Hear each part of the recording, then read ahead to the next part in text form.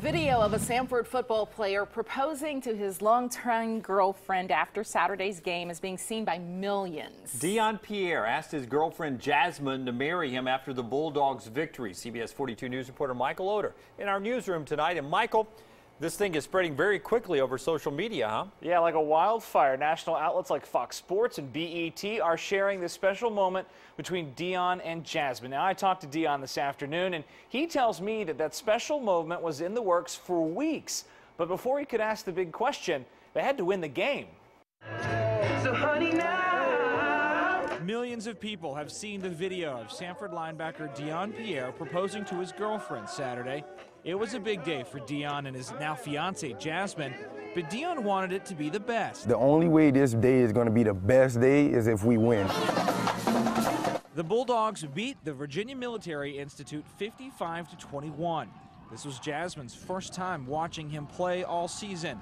And Dion intercepted the ball and ran it back for a touchdown in that moment, I was like, man, what would have happened if I would have had this ring on the sideline waiting to propose? Like, this would have been the greatest moment to do it. But then I thought about it and I was like, this skit is too good. Like, we, we rehearsed this, the roses, everything. Dion's team came through, just like they had rehearsed. A thoroughly surprised Jasmine, surrounded by football players and their families, made one of the biggest decisions in her life. She said yes, she did, and uh, it made me very happy.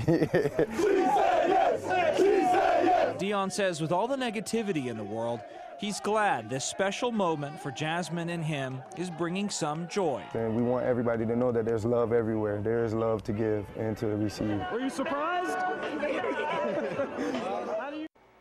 It is a great story. Now, Dion and Jasmine haven't set a date yet. They are waiting until they graduate, both of them, next year. The Samford Bulldogs play Western Carolina at home this Saturday.